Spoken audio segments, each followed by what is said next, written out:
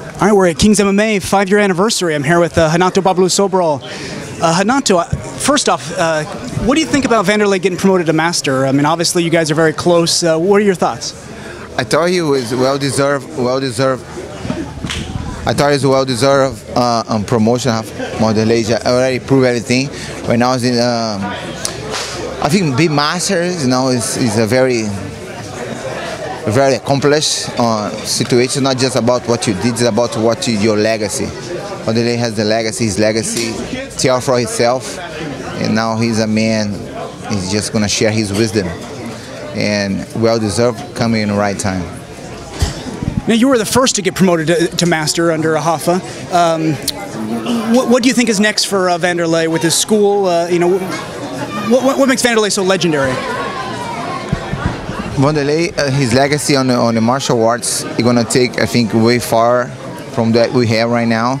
Wanderlei has a chance and he has ability to fight for, not just for um, inside the gym, inside his legacy, inside teaching, but he represent all of us, and he will think he will represent all of us very much on on the union that have been created by the fighters.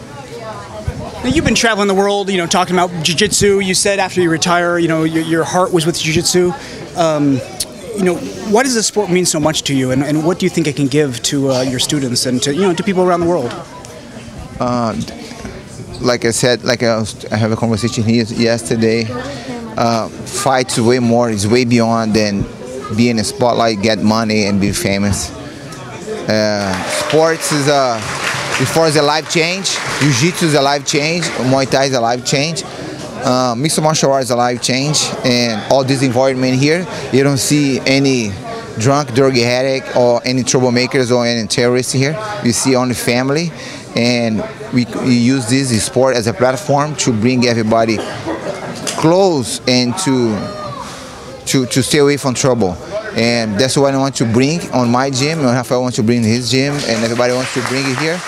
It's a martial art arts, a life change for the good way, and I think it's a good tool that God gives to us to put us on a, on, on a good path. Now you talk about family. You know, there's a lot of big fights coming up. Um, can you give me your thoughts on um, you know RDA's fight coming up with Cerrone? RDA's fight with Cerrone. Can you give me your thoughts? Rafael is on, Rafael dos Anjos. He's on top of his game right now, and we have a lot of guys here can can train like Cerrone. And Rafael has been training, sparring, and destroying every single one. It's gonna be a good performance, a good display, and to to keep uh, Rafael crown. And how about with uh, Werdum against Cain coming up? Ah, that was no. This is a very exciting match.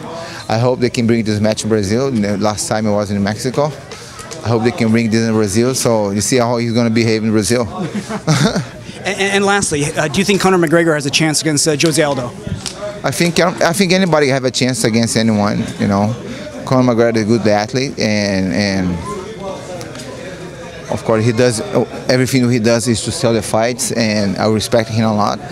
But I think this Jose Aldo is a is a number one uh, number one